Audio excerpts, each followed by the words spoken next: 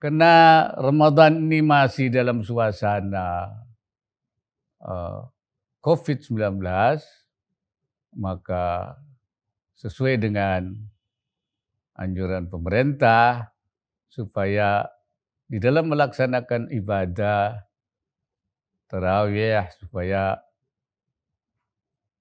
mematuhi protokol, mematuhi aturan yang sudah di memang dibolehkan, tidak ada larangan untuk melakukan tarawih sepanjang protokol itu dilakukan dengan baik.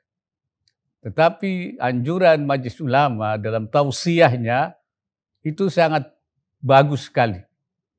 Nanti perlu disosialisasi bahwa untuk daerah yang masih tinggi penularan COVID-nya atau daerah yang masih merah, zona merah itu dianjurkan untuk menggunakan rukhsah kemurahan-kemurahan yang dibolehkan, tidak melakukan taraweh atau tadarus di tempat-tempat umum, di masjid-masjid, tapi anjuran Majlis Ulama itu yang disampaikan beberapa waktu belakangan belum lama ini supaya digunakan dilakukan di rumah-rumah saja untuk menghindari menghindari daripada penularan. Itu saya kira anjuran itu sangat benar sekali. Karena apa? Karena tarawih itu sunnah.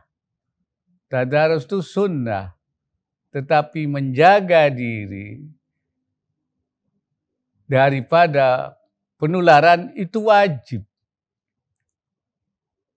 Syekh Nawawi misalnya salah seorang ulama Al-Bantani ketika menafsirkan hudwa hidrakum beliau mengatakan wa hadhil ayah tadullu ala wujubil hidri anil madar al madnunah ayat ini juga menunjukkan wajibnya menjaga, menjaga diri, menjaga orang lain daripada bahaya yang diduga akan datang. Bahaya yang datang itu wajib kita menjaga diri, menghindari. Nah, kalau al-madar al-madhununah saja itu sudah wajib kita menghindari, maka COVID-19 ini bukan lagi mazununa, tapi al-madar al-mutayaqqanah. Diyakini adanya, dipastikan adanya. Karena itu tentu kewajibannya lebih tinggi.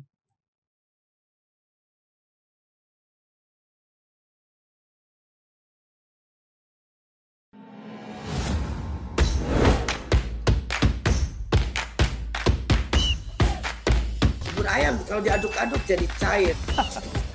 Seriously. diaduk kayaknya ya.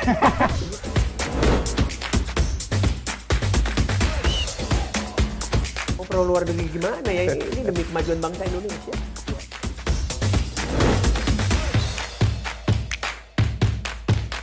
isu kebangkitan uh, PKI ini uh, dihentikan.